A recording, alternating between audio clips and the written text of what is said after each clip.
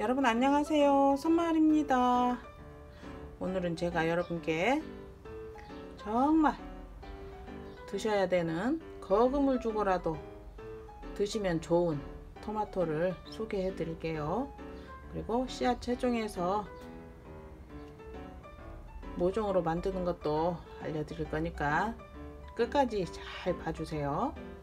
지금 이 토마토는 제가 거금을 주고 구입을 했답니다. 제가 토마토 많이 키우고 있는 거 알고 계시죠 여러분? 그런데 왜 이걸 샀냐고요? 저는 사실 토마토를 사 먹지는 않습니다. 1년에 한 번 토마토 심어 가지고 따먹는 재미로 제가 이제 토마토를 키워서 먹고 있는데요. 저는 1년에 한 번도 토마토를 사 먹지 않습니다. 그런데 제가 거금을 주고 이거를 샀답니다. 이 토마토는 꼭 먹어야 되는 토마토인데요. TY 시스펜 황금 방울 토마토라고 합니다.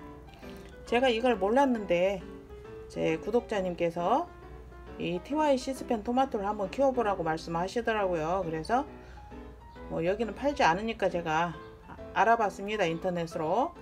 그랬더니 세상에 이런 토마토가 있었더라고요. 한, 한 2년 전에 TV 방송에도 나왔더군요.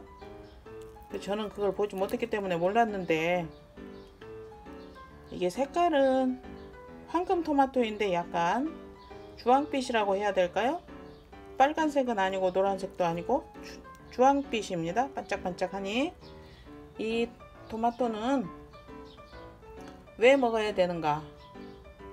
자, 그동안 여러분 이 방울토마토 사셔가지고 씻어서 그냥 드셨죠?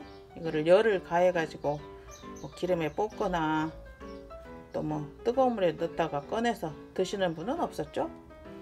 그런데 이 토마토는 열을 가해야 이 토마토에 들어있는 라이코펜 성분을 시스 라이코펜으로 바꿔준다고 해요.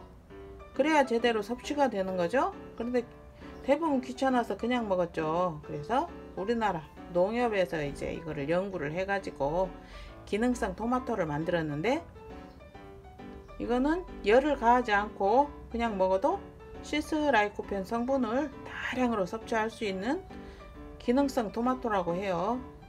그러니까 같은 값이면 이걸 먹어야 되겠죠?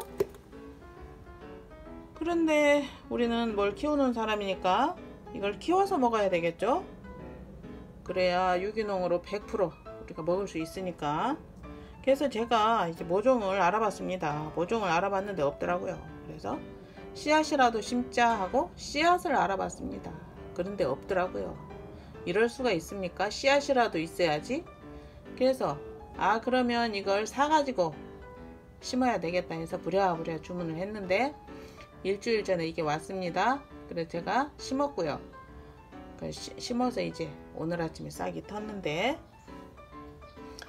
내년부터는 이것만 심어야 될 것 같습니다. 이거 채종 해놨다가 이제 다른 거 다 그냥 뭐 하고 이거를 키워야 될 것 같습니다.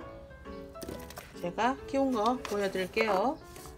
지금 이거 먹고 제가 이만큼 남겨놨습니다. 이거 얼마에 샀냐고요? 이제 어디서 구매해야 되는지 아셔야 되겠죠? 인터넷으로 구매했고요. 어, 처음에 그 검색란에 황금 대추 방울토마토 검색을 하시면 여러 가지가 뜹니다. 여러 가지가 뜨는데 거기에 또 보시면 농협 황금 대추 방울토마토 라고 뜨는 게 있습니다. 그러면 이렇게 이 박스에 이렇게 써 있어 갖고 왔고요 이게 4번 과입니다 4번 과인데 여기 보시면 2kg죠 2kg에 13,500원 줬고요 꼭 농협이라고 들어가 있어야 됩니다. 또 혹시 농협 하나로마트 데에서 판다고 하니까 가보셔 갖고 있으면 거기서 구매하셔도 되고요. 제가 여지껏 살면서 토마토를 사본 이렇게 사본 건 처음입니다.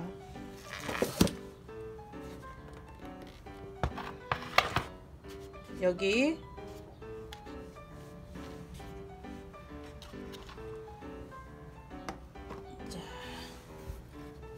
토마토를 잘라야 되겠죠? 또 그냥 여기다 자르면 또 기겁하시는 분들 계시니까 바닥에 놓고 자르겠습니다. 이 토마토의 시스 라이코펜 성분은 암 예방도 해주고 세상에서 가장 강력한 산화 방지제라고 해요. 두뇌에도 좋고 눈, 심장, 뭐 고혈압, 뼈 여러 군데 효능 효과가 있습니다. 그래서 토마토를 꼭 드셔야 되겠죠? 그래서 토마토가 익어가는 계절에는 의사들의 얼굴이 노래진다고 그러죠. 자, 씨앗 보이시나요, 여러분? 씨앗이 많이 들어있네요. 색깔이 아주 예쁘죠? 이 씨앗이 여러분 제가 씨앗을 구매를 못했는데 인터넷에 나와 있는 거 보니까 이거 천립 천립이라는 말은 이 씨앗이 천 알 들어있다는 뜻입니다. 이게 55,000원에서 45,000원으로 내렸다고 해요. 어마어마하게 비싼 거죠. 사서 먹으면 되는 걸. 자 여기 나온 거 보여드릴게요. 제가 이거 다섯 포트는 씨앗을 씻어서 파종을 했고요. 한 포트는 그냥 씻지 않고 파종했습니다. 지금 다섯 포트 심은 거에서 두 포트만 아침에 보니까 났더라고요. 어제까지도 나지 않았는데 여기 보이시죠? 초록초록한 거. 눈 크게 뜨고 보셔야 보이겠네요. 여기는 아직도 씨앗이 붙어 있네요. 오늘 아침에 갑자기 올라왔답니다. 제가 날마다 물 주고 들여다 보았는데요. 여기도. 여기도 있고 여기도 있고 여기도 있고. 이제 만약에 이거를 한 개씩 옮겨 심으실 때는 이 젓가락으로 깊게 파가지고 옮겨 심으시면 되겠죠? 흙까지 같이. 이 상태로 계속 다 키울 수는 없으니까. 이제 어릴 때 옮겨 심어 놓으면 뿌리가 작기 때문에 오히려 스트레스를 덜 받는답니다 이제 올라왔기 때문에 뿌리는 아주 작습니다. 그래서 옮겨 심어서 그늘에 한 3일 정도 놔두셨다가 햇빛에 놓으셔야 되겠죠?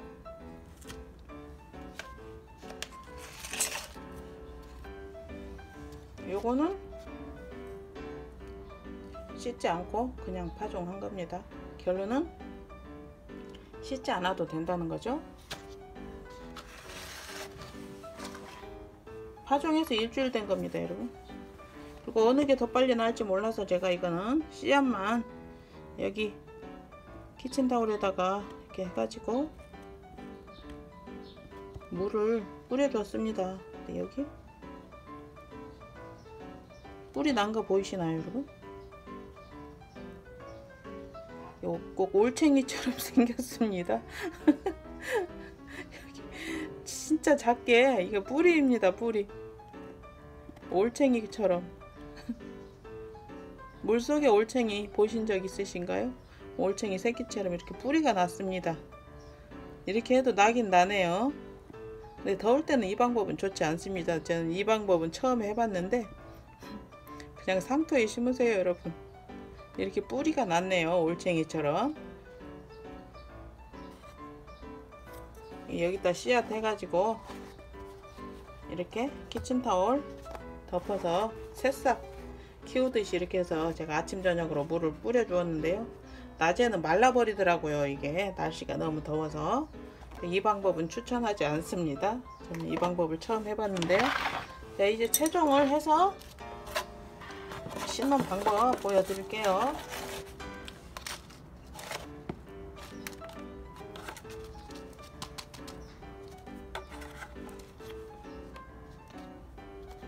살살 한번 눌러주시는 게 좋습니다. 모든 씨앗은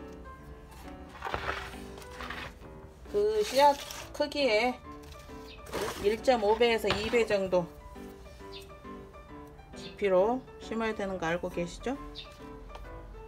여기에 씨앗이 엄청 많이 들어 있습니다. 이게 거의 다 나는 것 같아요.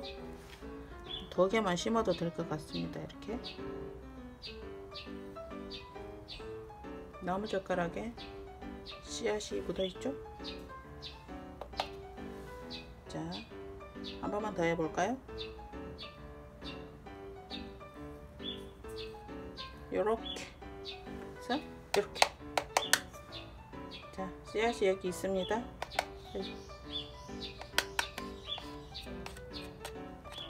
예, 괜히 건드려 가지고 다시 해야 되겠네요. 이렇게 해서 여기다가 탁탁 때리면 씨앗이 떨어진 거 보이시죠? 자 보이시나요? 이렇게 해서 흙을 살살 살살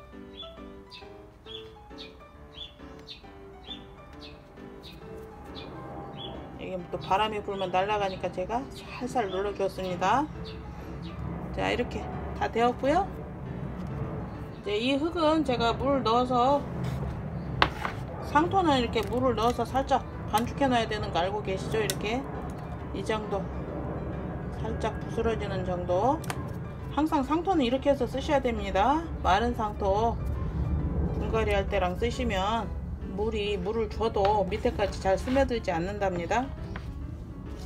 자, 이렇게 해서 여기다 이제 물을 주셔야 되겠죠?